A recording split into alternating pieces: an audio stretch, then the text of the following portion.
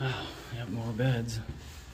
These are definitely not as comfortable as uh, the previous ones. but hey, they worked. It's pretty cool you can tour all this.